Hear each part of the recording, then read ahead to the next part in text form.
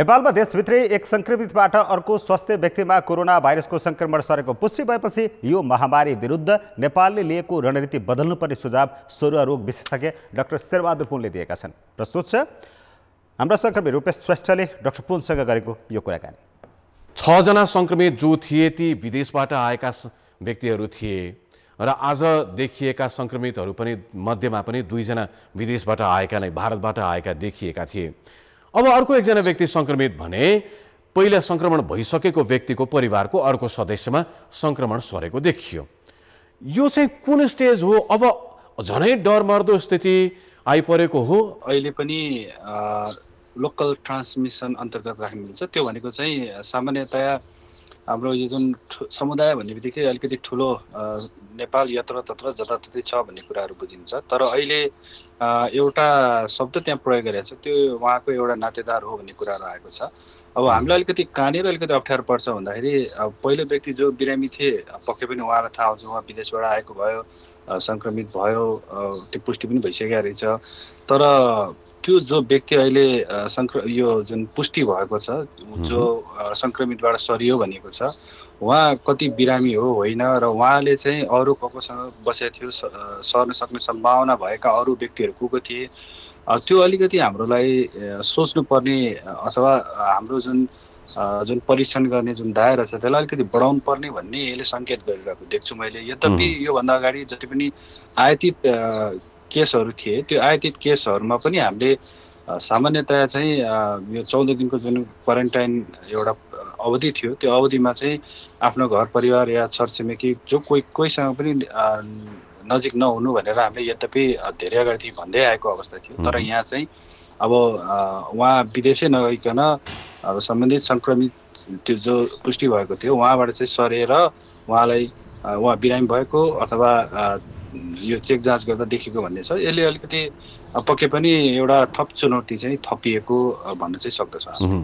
कतै यो परीक्षणको दर अलिकति बढाउनु पर्छ है दायरा बढाउनु पर्छ है भनिरहँदाखेरि पनि त्यसो नहुनुको परिणाम हो भनेर बुझ्न सकिन्छ? हामीले अलिकति अनुभव के पाइसकेको छ भन्दाखेरि चाहिँ सङ्क्रमण भएको तर लक्षण नदेखेको अवस्थामा पनि कोरोना भाइरस पुष्टि भइसकेको छ योभन्दा अगाडि। अब यसलाई चाहिँ हामीले अनुभवको आधारमा लिँदै पनि जानुपर्छ। हाम्रो यो कमी कमजोरी जे छ अथवा नयाँ कुराहरू के थाहा छ त्यसलाई चाहिँ आत्मसात गर्दै जानुपर्ने अवस्था हो। र मैले योभन्दा अगाडि पनि भन्दै आएको थिएँ कि जो कोही अब विदेशबाट आएको हो भन्यो भने पहिलो दायरामा उनीहरू पढ्छ। लक्षण होस् या नहोस्। अनि दोस्रो दायरामा चाहिँ यदि यदि केही गरी उहाँहरू चाहिँ इमान्दारीपूर्वक क्वारेन्टाइनमा नबसिएको अवस्था हो र उहाँ चाहिँ जो जोसँग बसिराख्नु भएको छ अथवा भेटघाट गर्नुभयो उहाँहरूलाई दोस्रो दायरामा हामीले राख्नु पर्दथ्यो। उहाँ चाहिँ जताततै घुम्दाखेरि चाहिँ पहिलो यस्तो भिक्टिमहरू चाहिँ अब आफ्नै नातेदारहरू पर्ने गर्छ जुन चाहिँ मैले अहिले देखेको छु। अब अलिकति चुनौती फेरि अलिकति थपेँ मैले यसमा।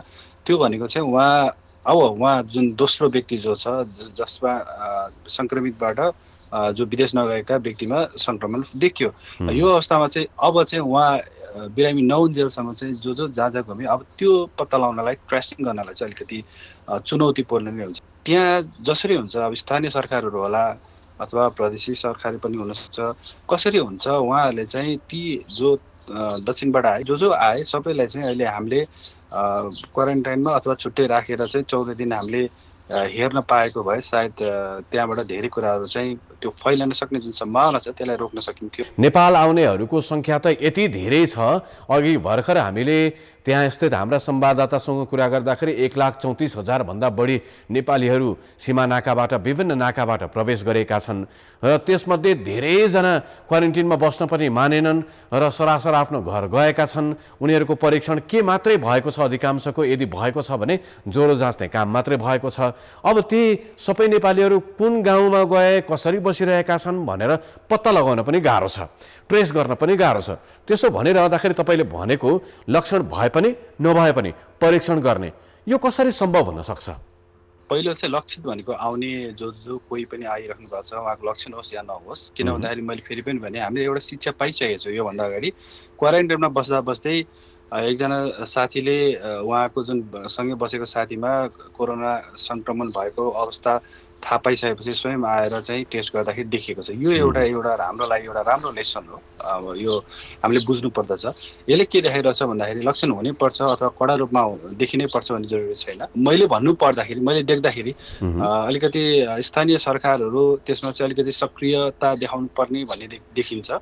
अहिले लकडाउनको अवस्था छ। त्यसले गर्दाखेरि अहिले पनि अब मलाई जहाँसम्म लाग्छ यो मानिसहरूको आवत त्यस्तो एकदम सक्रियता अहिले पनि हुँदैन। सायद केही समयसम्म हुँदैन होला। त्यसले गर्दाखेरि अहिले पनि किन भन्दा यो अलिक अगाडि नै हामीले लकडाउन गरिसकेको हुनाले र यो देखिने क्रम अब यो चौध दिनमै देखिन्छ जति देखिने हो।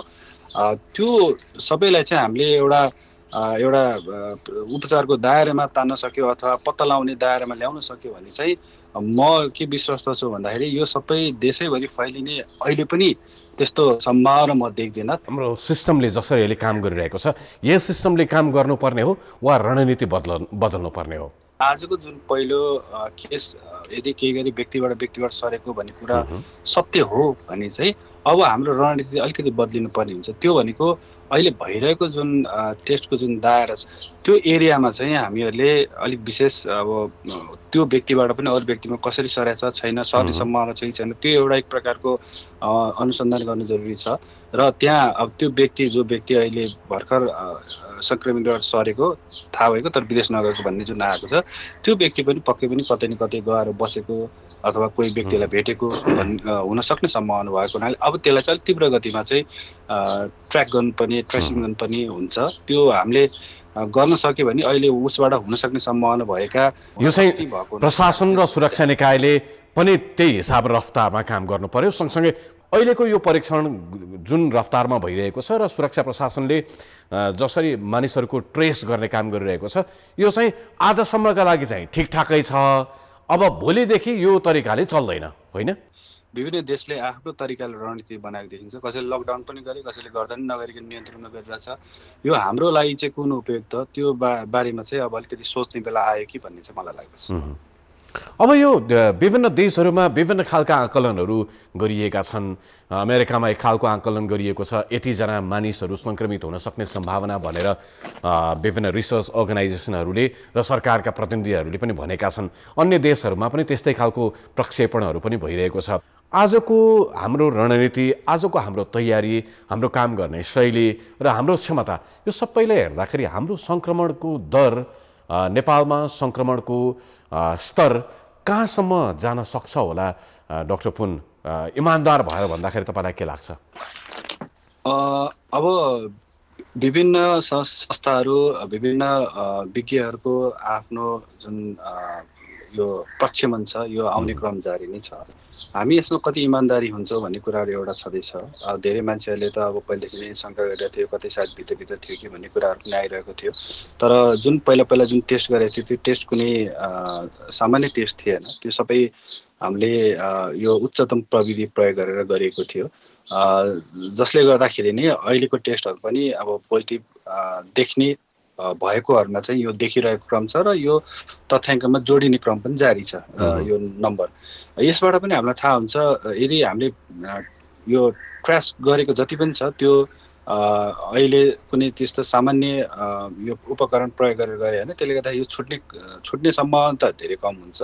यद्यपि कुनै पनि प्रविधि हन्ड्रेडमा हन्ड्रेड पर्सेन्ट हुँदैन त्यो सबैलाई थाहा छँदैछ तर पनि यो अहिले जुन पिसिआरहरू सबै प्रदेशहरूमा पठाएको छ त्यहाँबाट चाहिँ सायद अझ बढी मात्रामा अलिक एकुरेट यो सङ्ख्याहरू चाहिँ आउने सम्भावना हुन्छ र त्यही अनुसार अब अहिले हामीले रणनीति त अब बदलिनुपर्छ सायद अझ थप यसमा सुधारहरू गर्नुपर्छ भन्ने कुरा त अब यो भनेपछि निष्कर्षमा भन्नुपर्दाखेरि पहिलो कुरो विदेशबाट आएका जति पनि मानिसहरू छन् ती सबैलाई ट्रेस गर्ने उनीहरूको लक्षण भए पनि नभए पनि परीक्षण गर्ने र परीक्षणबाट केही लक्षणहरू देखियो।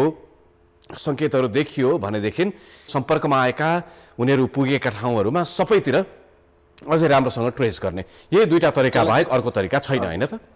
यो यो चाहिँ सबैभन्दा राम्रो तरिका हो र त्यसरी गर्दाखेरि चाहिँ यसलाई चाहिँ अलिकति अलिक गम्भीरताको साथै लिनुपर्छ र हामीले तीव्र गतिमा यो काम चाहिँ गर्नुपर्ने हुन्छ। हस्। धेरै धेरै धन्यवाद डक्टर फुन।